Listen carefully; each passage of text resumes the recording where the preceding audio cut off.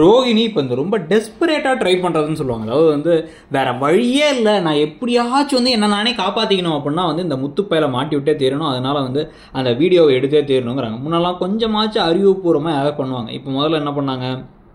இவருடைய ஃபோனை சார்ஜ் போட்டதுக்கு போட்டிருந்தது போது ரூமுக்குள்ளே போய் எடுக்க ட்ரை பண்ணாங்க. இன்னொரு தடவை என்ன பண்ணாங்க அது இப்போ வந்து ஃபோன் சுவிச் ஆஃப் ஆகிடுச்சு அவங்க ஃப்ரெண்டு வித்யாவை விட்டு அதே கேபில் ஏறி அந்த ஃபோனை வாங்கி அந்த ஃபோன்லேருந்து வீடியோ எடுத்துக்கலான்னு பார்த்தா அப்போ வந்து பார்த்தீங்க அப்படின்னா வந்து கரெக்டாக மீனா கால் பண்ணிட்டாங்க.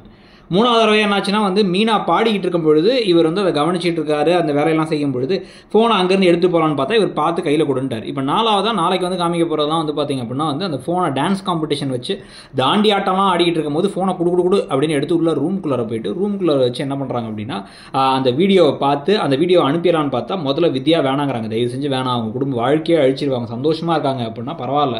நான் தப்பிக்கணும் அப்படின்னா அவங்க மாட்டணும். அதுதான் வந்து உலக நியதி. அப்படிங்கிற மாதிரி வந்து அவங்க இதெல்லாம் எடுத்து அனுப்பலான்னு பார்க்கும் பொழுது பின்னாடி இருந்து வந்து முத்து இடிச்சிடுறாரு. முத்து மீனா இடிச்சோடனே அந்த ஃபோன் கீழே விழுந்துருந்து மீனா அந்த ஃபோனை பார்க்குறாங்க.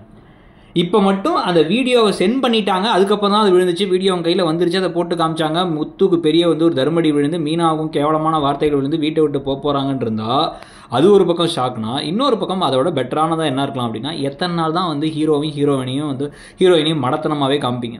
அதுலேயும் முக்கியமாக வந்து மீனா எவ்வளோ அடித்தாலும் வாங்கிப்பேன் மோட்லேயே எத்தனை நாள் தான் இருப்பாங்க. ஆரம்பத்தில் இப்படி இல்லாத ஒரு ஹீரோயினை ஏன் இவ்வளோ மோசமாக மட்டமாக ஒரு சுயமரியாதை இல்லாமல் காமிச்சிட்டு இருக்கீங்க? இப்போ வாட்ச் வந்து டக்குன்னு கூட்டி கழிச்சு பார்த்தா எல்லாம் தப்பாக இருக்கு.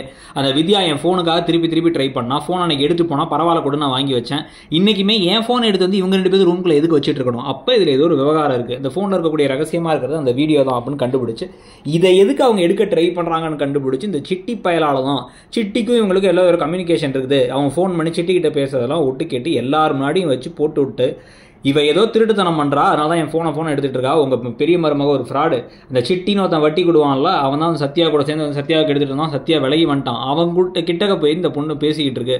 அப்படின்னு எல்லார் முன்னாடியும் போட்டு உடைச்சா நல்லாயிருக்கும் அது ஏன் எதுக்குன்னு ஃபுல் டீட்டெயில்ஸ் சரியாட்டியும் அறகுறையாவாச்சு இவங்க பண்ணுறது ஃப்ராடு தானு புரிஞ்சால் நல்லாயிருக்கும் அதை விட்டுட்டு முத்து மீனாவும் அந்த ஃபோனையும் வச்சு வச்சு திருப்பி திருப்பி இழுத்து இழுத்து கதையை கொண்டு போகிறது ரொம்ப போர் அடிக்குதுன்னு தோணுது. உங்களுக்கு என்ன தோணுது? அந்த கதை இப்போ எப்படி போகுது?